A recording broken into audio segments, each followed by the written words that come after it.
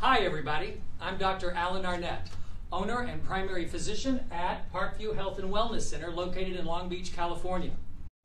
For the last 30 years, I have been a clinician helping people to achieve better health and freedom from disease using natural means. One of the most passionate techniques that I use, or the techniques I'm more passionate about, is using food to help heal the body. If I hadn't become a doctor, I would have become a chef. I was that passionate about how food was and how it made me feel. So, as a physician, I really turn back to food. Food is what makes us feel better, and food is what makes us feel sick. So, one of the things I'm most passionate about then is how to cleanse the body so that the body stays in peak condition. Kind of like taking your car in for a tune up, it makes your body work better. So, the first question I have for us today to get us started over what will soon be a several series of Facebook Lives about cleansing is why cleanse? Why would we cleanse? Well, it's true that natural physiology of the kidney and the liver and the lungs take care of themselves. And if they were given the right things, they probably wouldn't need a lot. But let me ask you a question. If you dusted your house and then locked it up and didn't return to it for three months, would it still be clean? No, of course not. You would still need to clean it, even though it's just a surface cleaning. Our body accumulates things over time. And part of our physiology is designed to neutralize those things, toxins, undigested food particles, etc., uh, dead debris that hasn't been eaten up, and store that in our joints, in our tendons, and in our brain. And so cleansing regularly allows our body to cleanse itself so that these storage pieces don't get too thick or too deep. Imagine if you never, ever, ever looked behind your couch after 20 years. What would that floor look like? Well, that's oftentimes what most people's arteries and gallbladders look like. That's oftentimes what causes hemorrhages and strokes and heart attacks. It's just things that have not been taken care of. Medicines can be very powerful, but do nothing towards improving the health in this way. This organization in the body that takes care of itself. Now, cleansing versus detox. This is a very common question that I get asked. Well, cleansing and detoxification are similar in some ways, and certainly out on the street, colloquially, they're synonyms. They can be used back and forth. In fact, I have the word detox in quotes because many people use that fun. Oh, I had a rough weekend, I need a detox. But in that case, what they're usually referring to is something specific, such as alcohol, such as from heavy foods, and in a medical setting, it could even be something as detoxification from heavy metals such as lead, cadmium, or mercury, or others. So, detoxification, both on the street and in the doctor's office, usually refer to these things specific, usually needing specific techniques, sometimes specific strategies or specific appliances or machines. And once detoxed, usually is not implying that it will retox. Cleansing, on the other hand, is a very different way to go about things. Cleansing means getting rid of phlegm, mucus, and excess acids that clog and congest the body's crevices, inside and out. This is like when your mouth feels all slimy and you go and you brush your teeth and you floss real well and you do some nice, nice mouth rinse, you feel much better. Well, imagine doing that to your whole system. So, cleansing then is something that is done over time repeatedly. I recommend every six months at the change of the seasons, spring and fall. And is expected that over time you're probably going to get a little dirty, so the need to cleaning isn't in question. What is in question is how much and how long would I need to do it? Do I need a light dusting, or do I need to pull the couches out and do deep, heavy cleansing?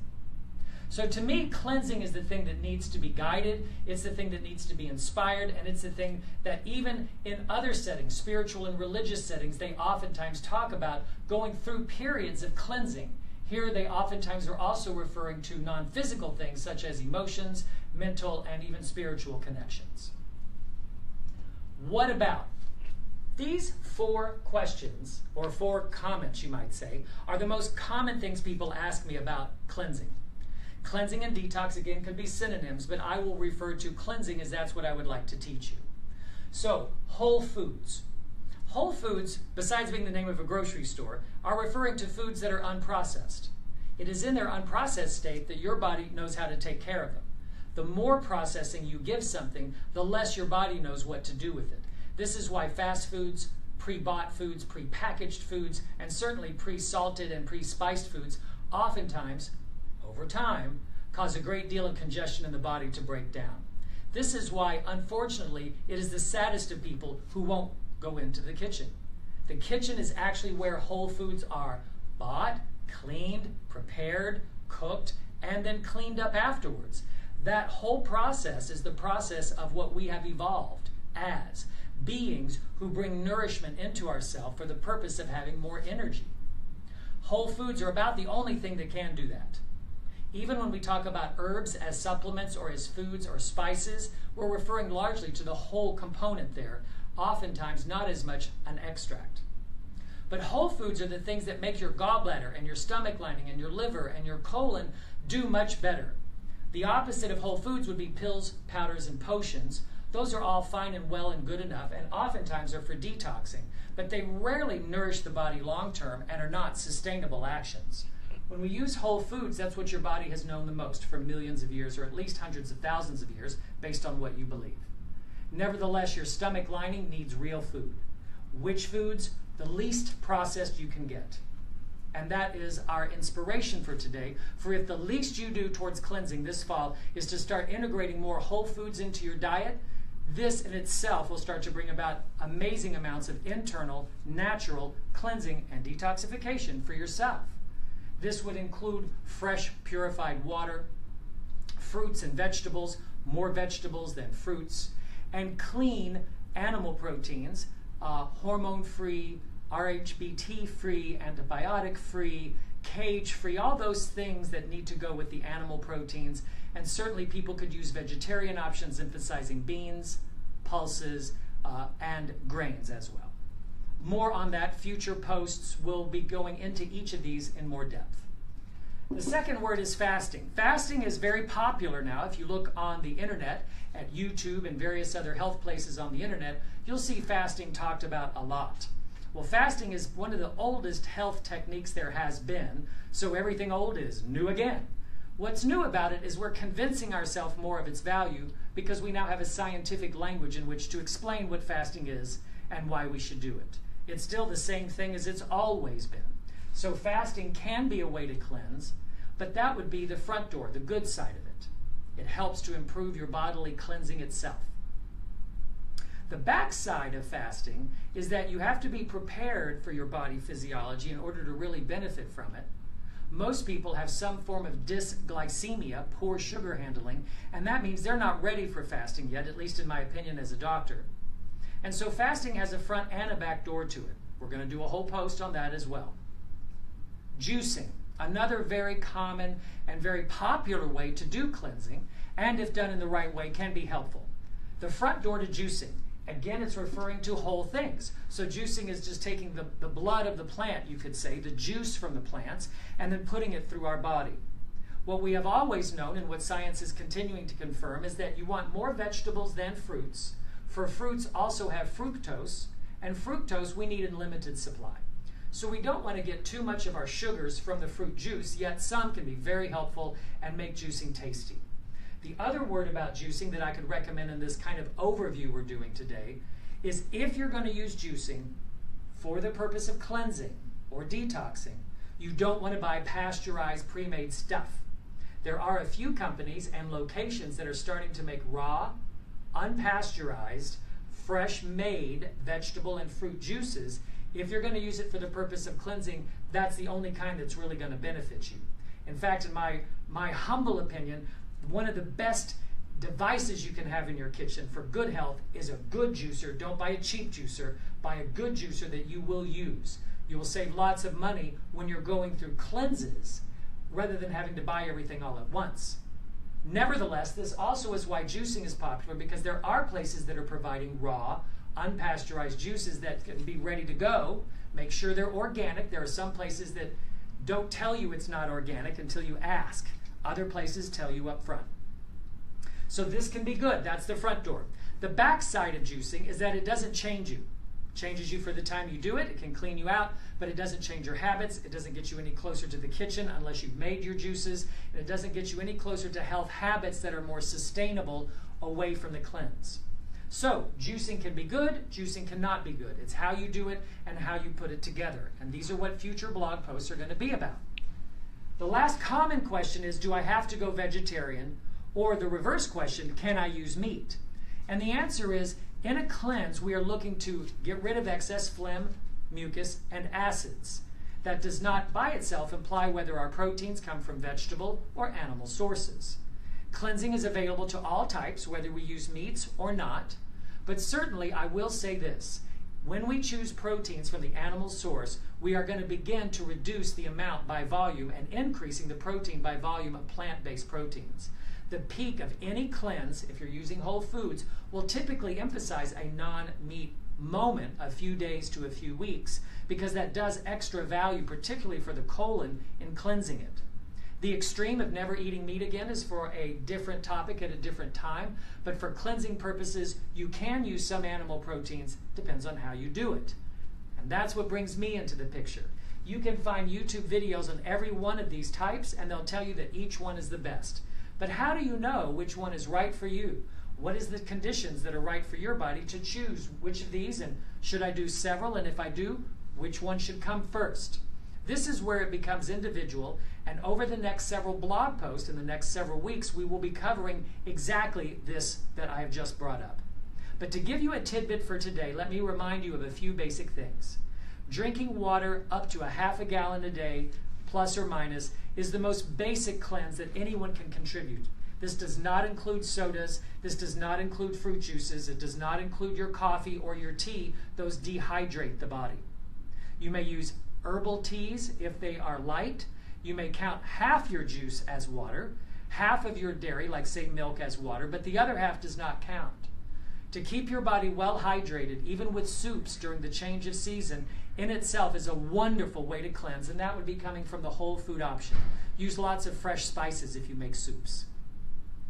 The other simple tip that I can give you is that keeping your mouth clean and keeping your gums clean will have an immediate impact upon your stomach when you bite into something, let's say you went to a 7 Eleven and bought a sandwich and you bite into it, after the end of it, usually there's a slime all over the mouth because those products have been preserved so they last forever. They usually are very unconscionable, low quality foods, and they leave it. Your mouth starts to tell you it doesn't want that. So by the time it makes it down here, the reason there's an ugh and a glug after low quality foods is because the body is having to create mucus coating in order to defend against the toxic residues of the low quality food.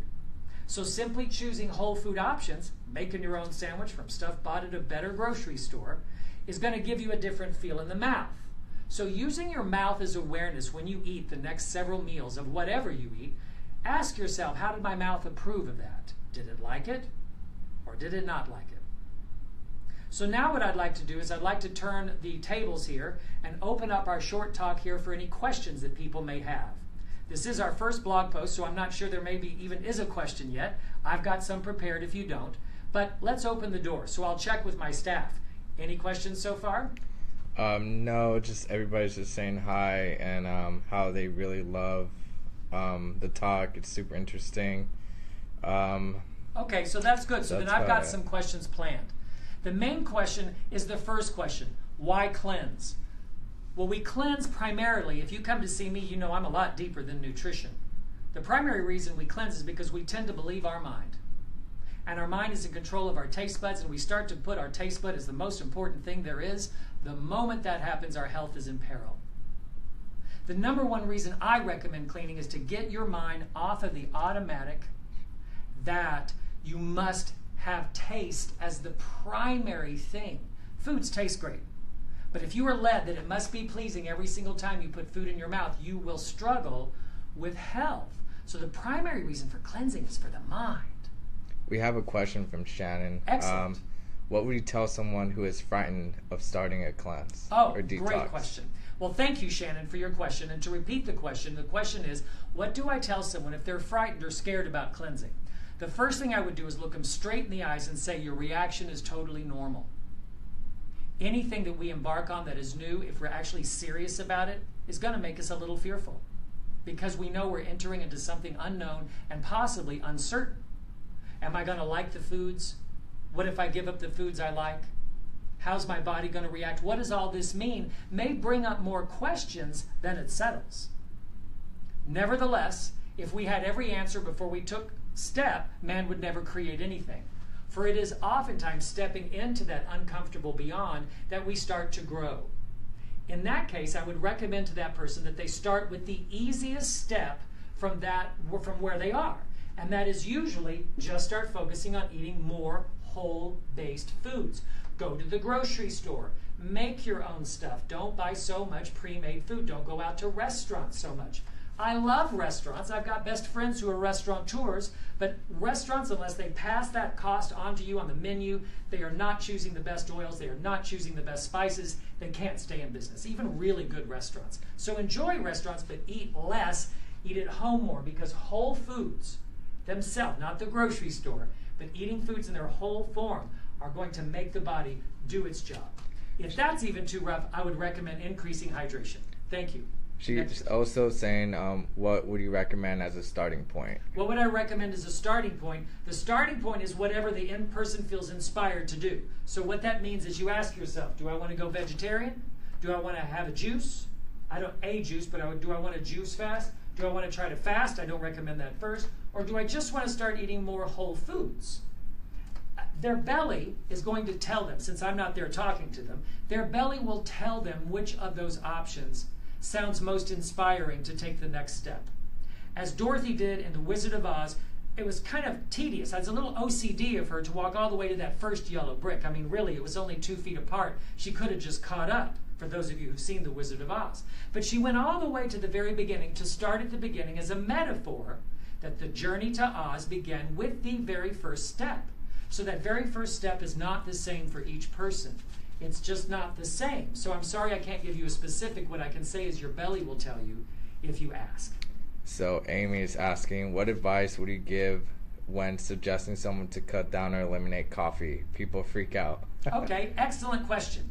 So to repeat the question, thank you, Amy. Amy asks, what if people are trying to cut down something like, say, coffee, and they're having a reaction? Either they're scared or they're angry or they don't want to. I have to back up and give you some background information. We have, in essence, an observer who observes all the thoughts, feelings, and emotions that occur in the biofield called the body. You are not the reaction. You observe the reaction. So when your mind thinks of a food, it has a reaction. That's not who you are, that's what you're observing. And so when we start thinking of giving up something, the reaction of the mind will be, I want more or I want less. But none of that is you, unless you're attached to the thought. And that's where the idea of meditation, yoga practice, deep breathing practices can come in. Because really, at that moment, what we're dealing with is a neurological hiccup that I must have what I want in order to be happy. Conditional happiness is really just pleasure, not true happiness. Because coffee is neither good nor bad for you. It's how you use it and how much. So at the very least, just start cutting down. Thank you for the question, Amy. Next question. So we have Leslie. She says, "How often in the duration should your fast or juice?" That's okay. So how long in duration should a juice or a fast be? Well, like most things, it depends upon how you set yourself up, how familiar you are with the process, and what your goals are. What are you needing to do? For most people, neither one of these will be more than three days at a time.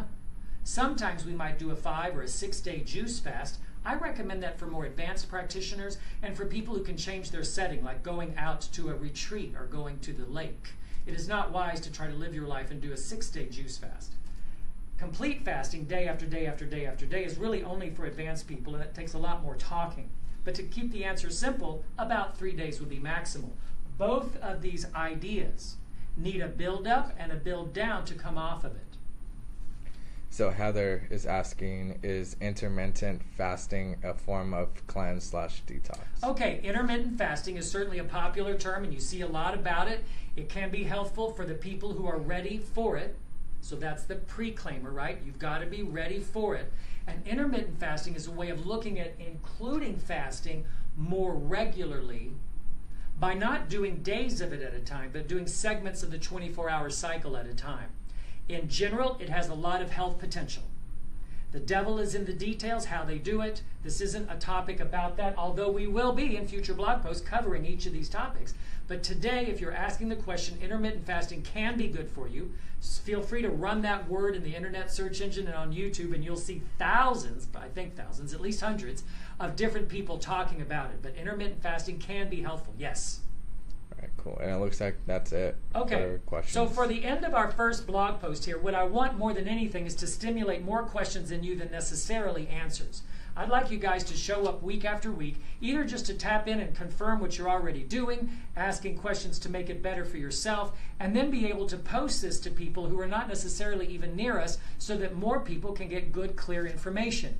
A lot of people are selling stuff on the internet. Some of it's good, some of it's not good. My message, how it's done and how you string it together. That's going to make, in many ways, a bigger impact upon your success or failure than necessarily whether I did a juice fast or a whole food fast. It is my passion to offer health wisdom through experience.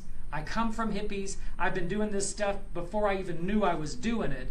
And by living it, it's a very different thing than just simply thinking about it and performing an action. We call this the heart of healing.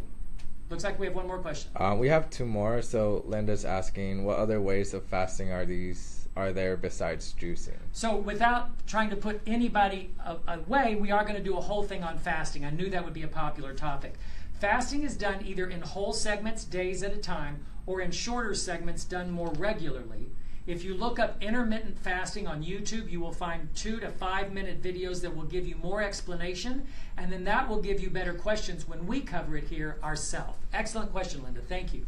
Um, Jim is asking about water intake. How many glasses per day? This could not be a better thing to close with. It almost goes back to that first question of what's the simplest thing that I could possibly do to keep cleansing in my life. Again, cleansing separate from detox, is to drink plenty of water through your body. Now, while we like to give a fixed number, 64 ounces, eight 8 ounce glasses is a middle part, plus or minus based on what you're doing, how dry it is, how moist it is, and so forth. But it's really, you need to feel your hydration as well. So, in addition to giving you the standards, eight 8 ounce glasses of water, and if you'll review the first part of that, I kind of gave some specifics about what fluids would be good and what fluids would not be good. What I want to say most about hydration is hydration is a function of the minerals in the water. The minerals are electric and pull the water into the cells. Many people have the experience of drinking a ton of water and peeing it right out. That's flushing the kidneys, but it's not necessarily hydrating the cells of the body. So, a simple way, a very simple way to test your hydration is called the skin pinch. If you'll pick up the skin on the back of your hand and drop it until you're about, I don't know, maybe 60, 65, it will instantly go back if you're well hydrated. And if you're slightly dehydrated, it will go back slower. There is age related skin change due to collagen, and so there's a little bit slowing that's normal as we get older. But if you'll do it with yourself over a series of days, you'll start to notice the quicker response, and that lets your body know if you're better hydrated. Also, headaches are frequently a sign of dehydration, and hunger, if you're hungry a lot, is usually I'm thirsty, my body doesn't have enough minerals. We will cover each of these in the upcoming blog post, and in January, we're doing our big winter cleanse. It's a two part, two Saturdays, one week cleanse, kind of post holidays. So, for those of you who'd like to be live in person with me and go through a program, put that on your calendar. We'll have that date in the next few weeks, but it will be uh, probably the second or third week in January. Any other questions? Um, looks like we're done. All right, so I will say from your heart to my heart and back again health is what we keep alive. Freedom from disease, step one. Health is an option. Never feel obligated to go to the store. You are luxurious that you have the option of so many grocery stores around you to go cook fresh, healthy foods. Bring friends into the kitchen, bring your favorite, like even an iPod into the kitchen and watch something while you have fun in the kitchen. It's always said that is where the heart of the home is. Until next time, guys, thank you.